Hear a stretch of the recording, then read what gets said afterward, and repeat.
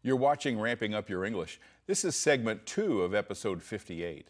We're still in Africa, learning about humankind's closest relative in the animal world, chimpanzees. They share so much DNA with humans that it's easy for us to see ourselves in them. Now, does that mean that chimps have intelligent thoughts and emotions like we do? Researcher Jane Goodall has studied chimpanzees in Africa for many years. Writer Virginia Morell got to see Goodall work with the chimps in Tanzania. She shares her insights into the animals in a book entitled Animal Wise, appearing on the RVTV program Life Passages with host Nancy Bloom. Morell says her work around animal intelligence and emotion began when she observed her dog. It started with actually watching my own dog. I think a lot of people who own pets, they watch them and they think that their animals have, got, have thoughts and emotions and are responding to them. But it, 20, 30 years ago, we were told that we were just sentimentalizing, that the animals really didn't have thoughts of their own. They were just reacting to stimulus. So um, I watched our dog Quincy, she was a mixed collie, and she invented various games. And I thought, it's remarkable. She has an imagination. And you see that mm -hmm. too when your dogs dream. You think there's something going on in their minds, or just how they look at you and study you. And then I had a, a wonderful trip that I made to uh, East Africa, to Tanzania, to meet with Jane Goodall and mm. to interview her about Louis Leakey, who had started her on her research there. Mm. So. While I was there with Jane, we watched the chimpanzees together, and and I, let's pull up a photo of that. Sure, there she yeah, is. There with, she is. Yeah, with the that chimpanzee. was when I was with um, Jane at Gombe National Park oh. in Tanzania. It was. Uh, a fabulous experience, obviously, to first be meeting with Jane Goodall and then to be watching Jane Goodall watching the chimpanzees. So, uh, of course, we saw a number of behaviors there that made one really question what was going on in the mind of the chimpanzee. Right. In one particular incident, this older chimpanzee was caring for an orphan chimp, and we watched uh, as Jane had given him a big bunch of bananas, which we had thought he would share with the little orphan Dilly. But he didn't. He sat down, and I know it was really something to watch this big, beefy guy just sit there and eat about 30 bananas all by himself, and little Dilly was sitting there looking sadder and sadder and more deflated. And so afterwards, he fell on his back and was snoring. The big chimp that ate big, yeah, Beethoven sound asleep, snoring. Dilly was grooming him. And Jane was standing in the shed next to where this little drama was unfolding, and she'd held back one banana because she thought Beethoven might pull that stunt. And she held the banana up so Dilly could see it. And she and Dilly made eye contact. And it was as if a thought passed between mm-hmm. the two of them. And normally a chimpanzee, when they see food, they make a food cry. Mm. And so that was what Beethoven had done when he mm-hmm. saw the bananas. He made mm. this hoo hoo hoo sound. But uh, Dilly didn't make a peep. She was so mm. smart enough to not, not make a sound. And so that you'd say, okay, the banana is a stimulus, she should make the response of a food cry. But she is a thinking animal, and she didn't. Mm. And so she watched as Jane put the banana behind the shed out of sight of Beethoven, and little Dilly very quietly tiptoed over there, got the banana, ate it in about two bites, and then tiptoed back to Beethoven, making these very soft contentment sounds. so I was amazed by that, and I said to Jane afterwards, I said, that was truly remarkable, and aren't you going to write that up for a scientific journal about how this young chimpanzee, you know, sort of plotted with you and deceived Beethoven? And she said, oh, I, I absolutely can't. Why? This, this was in 1985. I mean, it's really not that long ago. And she, and she said, well, if I do, people will accuse me of anthropomorphizing. I see. I can't possibly say that Dilly deceived Beethoven uh-huh. or that Dilly plotted with me. I can only say, if Dilly were a human, we would say yes. she did X, Y, Z because it's intentional behavior rather right. than stimulus response. Right. It actually requires thinking. Right. And at that time, scientists were really prohibited by the way that this science of animal behavior had come about from actually saying that animals did things with purpose or intention. It was only that you know, you know, you sort of hit them on the knee and they responded. It wasn't didn't require any brain power. So, but she told me. She said, and Jane was very wise and smart. She is a very wise woman. She said, but the field is changing. Mm, she could feel it already. She knew that it was changing, and so she said, in time, it's going to be very different. And I thought that would be my next book. That was 1985. Oh, even then, you thought even, that? Yes, I thought that's a transition that I want to uh, watch and chronicle. And so when I finished the book, then I began to work on articles that were about animal behavior and animal cognition research, and eventually uh, received a, an assignment from National Geographic magazine to write a story about that subject. Mm-hmm. That was in 2006. And I think maybe there's a photo related to that. There is. and we can ask yeah. for that to come up. Yeah, there's, I think, the cover shot of, yes, yes there, it, there is. it is. Inside Animal Minds. That was my, uh, came out in March 2008. It was a cover story for National Geographic. And it was hugely popular.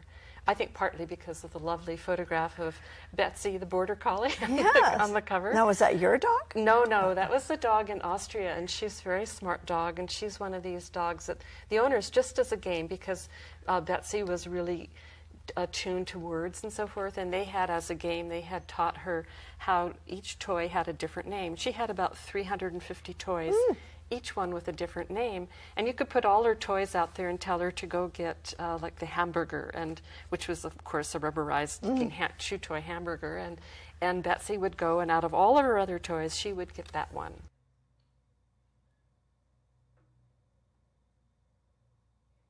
So this brings up an important question. Do animals think in the sense that people think? And do they feel emotions? And how would we know the answer to either question? Well, what we've learned about chimpanzees, largely through Jane Goodall's work, forces us to confront these questions. Any idea of animal intelligence was once dismissed with, well, only man can use tools. Well, now we know that chimpanzees make and use tools for various functions. And what about emotions? Do our pets simply mimic the emotions we have? Or do animals actually have emotions of their own? Well, we all have our opinions about that. But what about proof established by scientific inquiry and observation? Researcher Gay Bradshaw studies animals from a perspective of a neuropsychologist. Her research focused on a mysterious mass killings of rhinoceros. Investigators found the killers were young male elephants. But why? Nothing like this had ever been reported, and it was totally out of character with what we know about elephants. Dr. Bradshaw says that the answer to this mystery was found in what these young elephants witnessed and how they were removed from the support system that naturally exists within a group of elephants. Well, it turns out that these young teens um, young bulls had been orphaned during a cull when there had been mass killing. So they, they witnessed their mothers killed and their families killed, then, which is very traumatic. Then they were taken away um, when they were probably like two or three years old, and they were brought translocated to a different area where there was not that same traditional structure of the natal family of a mother and aunties and other babies. So they were really forced to grow up on their own. Then they didn't uh, experience that second phase of socialization with the other bulls. Now, it's more than just structure. When you look at what's happening in the brain and the mind, as we see in post traumatic stress disorder, PTSD, you actually see that the, the patterns, the processes in the brain are shaped by the experiences. So when the bulls, these young bulls, were killing the rhinos, it was really um, diagnosable as a trauma, as, a, as PTSD, just as we might diagnose someone who has experienced severe trauma, whether they're a veteran or whether it's domestic violence or some kind of other accident. Bradshaw explains the social system among elephants that these young bulls were denied due to the killings they experienced and the isolation they experienced. For, for one thing, they are organized in many different sort of levels of society. So the fundamental unit is the family, and there's a matriarch with other aunties and, and babies. And that's the fundamental unit. And the babies are born and they stay within that natal, they call it the natal family, until they're about 10 years old. Then the, the young males, the boys, are going off to a second phase of socialization with the all bull group or all bull area the females stay within the natal herd. So these are two very, it's very structured, very much like traditional humans cultures and societies. So they're very structured. And those themselves, those units or those organizational patterns are repeated at different levels. So you can see layer upon layer upon layer of this very complex society where it's sort of like a very, very intricate web of relationships. And those relationships translate to what is happening and how the brain and the mind are formed. Elephants suffering post traumatic stress disorder may seem far fetched to some, but it does help explain the mysterious behavior and the importance of a social animal's support system. And how could an animal suffer this disorder if they don't experience emotions? Bradshaw documents the damage humans do when they remove social animals from their social groups animals like parrots. Parrots and, are very similar to the elephants. They have extremely strong um, bonds and fidelity to relationship, and um, they're flighted. That's the other thing. And yet, we as a culture are conditioned to see uh, an animal in a cage as something normative, as something that's acceptable. Mm-hmm. So, really, we need to start looking through um, the our own eyes of how what we would feel like in those conditions. Mm-hmm. Dr. Bradshaw has established an organization called the Kerulos Foundation to disseminate her scientific findings and to foster education about the well being of animals. Um, non human animals have the capacities and the vulnerabilities that we do psychologically and emotionally. So, our first few years were really, really articulating a very solid scientific foundation. And then we've shifted into education and sanctuary. So we have a couple of programs that are what we call Educate to Action. So they're learning about animal minds, animal experience, um, trauma recovery. But then they're linked to learning, which we feel very is very important philosophically, is taking what you learn and applying it to very concrete situations. So we partner with people around the world. Um, our students take the courses and then they actually put their work um, into conservation or animal protection. And that's a really important thing. It's a very empowering thing, too, because as you talked about, the world is changing very fast.